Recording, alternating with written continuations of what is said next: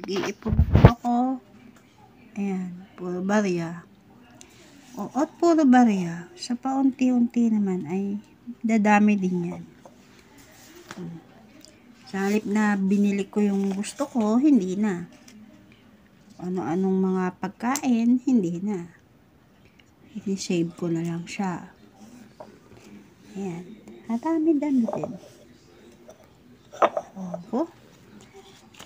Kukwentuhan ko kayo kapag kung ilan na yung na, naipon ko. Tapos, ibibida ko sa inyo kung saan ko naman inilagay, paano siya dumami.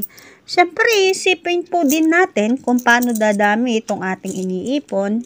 Hindi lang siya nakatambak. I mean, na natutulog. Kailangan umisip din po tayo kung saan po natin pwedeng ilagay para madagdagan. Pa-member po tayo sa mga co-op, kooperatiba. Alam nyo, may percent doon. Bukod sa pag-member ka, 1% lang ang tubo ng utang. At pag member ka pa, yung nilagay mong pera doon na membership fee ay tutubo yun. Nagigain ka ng lumalaki po yung pera nyo doon. Kahit ba siya 2% lang, ito 3%. Ang malaking bagay na rin po yun. Dahil yung bangko nga, nagpapautang yan, 3.5%.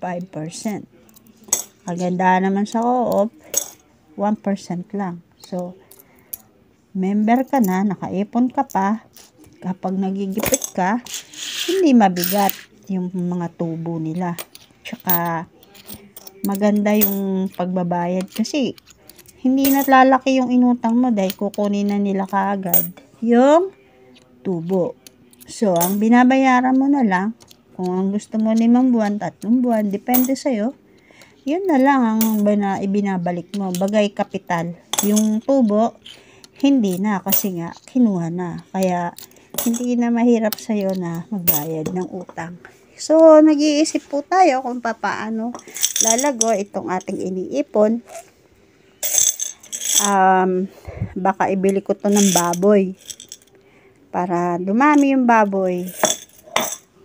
At uh, magka, magkaanak syempre edi kahit pa yung pera mo eh nadagdagan. Ay kukwentuhan ko ko na lang po kayo kung anong magandang napaglagyan itong ating iniipon. Para naman naman meron din kayong idea. Pero the best sana kung marunong kayo magnegosyo. Halimbawa, yung mga konti lang puhunan. Yung merong kwek-kwek. Ganyan.